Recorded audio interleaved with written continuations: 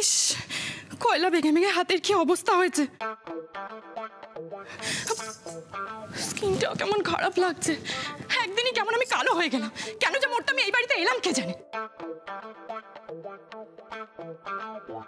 সকাল থেকে আমাকে খাটিয়ে খাটিয়ে মেরে দিচ্ছে আমার আর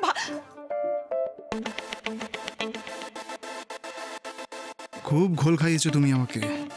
কোটিপতির মেয়ে না? এবার তোমায় জব্দ না করেছি তো আমার নামও কুনাল বাসু নয়।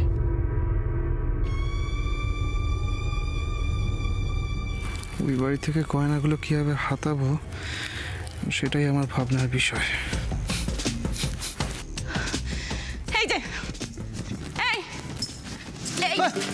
তখন থেকে কি বিড়বিড় করছ তুমি হ্যাঁ? আমার অবস্থা থেকে তোমার খুব হাসি পাচ্ছে না? মজা পাচ্ছ তুমি? হ্যাঁ নিজে তো পায়ের উপর পা তুলে বসে আছো। মজা তো পাবেই তুমি নিজেকে তো কিচ্ছু করতে হচ্ছে না। শোনো কুনাল আমি তোমাকে একটা কথা পরিষ্কার করে বলে দিচ্ছি। তোমার ওই ডাইনি পিসির সাথে আমি আর এক মুহূর্ত থাকব না। তাহলে কোথায় যাবে বলো তো? কেন? কোথায় এবার যাব? তোমার বাবাকে বলো আমাদের জন্য একটা অন্য বাড়ি দিতে। কি বললে? অন্য বাড়িতে গিয়ে থাকবে? ঘরে পা দিতে না দিতেই আমাদের খোকনকে আমাদের কাছ থেকে আলাদা করার চেষ্টা। না অফিসের উত্তর দাও। ও পিসি, শোনো না, বলছি তোমরা একটু কথা বলো, আমি একটু ছাদে হাওয়া খেয়ে যাচ্ছি ঠিক আছে পিসি? না না কুনাল কুনাল কুনাল, শোনো, তুমি যেও না।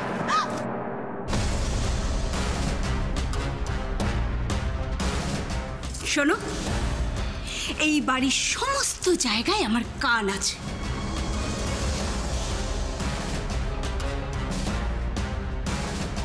তাই ডাইনি বড়ি বলো আর যাই বলো না কেন এবার থেকে বলার আগে দুবার ভেবে দেখো। সুযোগ পেলেই শুধু ফাঁকি, তাই না? তোমার মতন ব্যাকা মেকে কি করে সোজা করতে হয় সেটা আমি জানি। ঠিক পাঁচ মিনিট। পাঁচ মিনিটের মধ্যে খাবার ঘরে আসবে।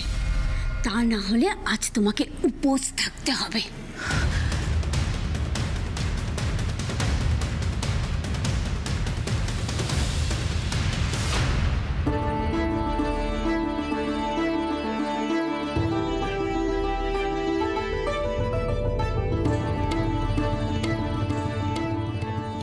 মেয়েটিকে তো ঠিক চিনলাম না।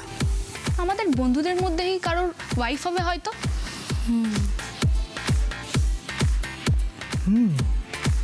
বিউটিফুল আগে কখনো দেখিনি। আলাপ করতে হচ্ছে। পিসি তোর বিবাহিত জীবন কেমন চলছে? ঋষির যা মুড দেখছি